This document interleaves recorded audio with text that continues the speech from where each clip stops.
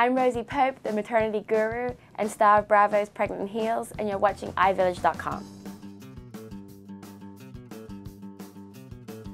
So I'm really seeing a trend towards traditional names, but so traditional that they seem new.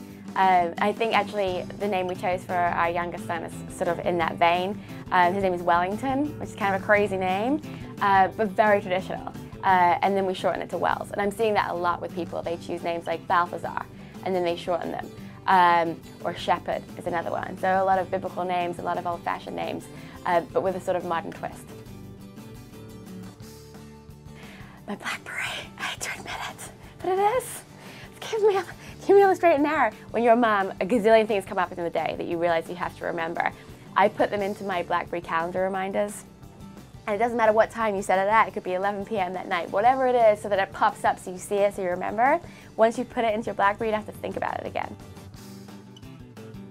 Sometimes you're just not feeling so fabulous about the way you look.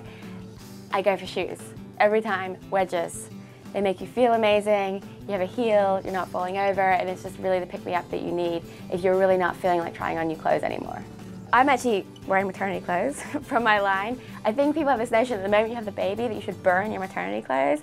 It's not a good idea. You need to keep them and you need to wear them um, because you still don't have the flat stomach and you're still not the same size as you were before. So trying to fit back into your pre-maternity clothes just makes a depressing morning. So I like to keep the maternity styles, especially the dresses that I love more than anything else, and keep wearing those. Because you feel great because you've lost weight, so they feel better on you, um, and they still sort of conceal your belly and just make you feel better about yourself. So right now, I get very little sleep. So cream is saving my life. Uh, I am in love with, uh, there's a cream by Clarins uh, called Baume Jeunesse. And the theory is you put it on your face and it's like a flash of youth.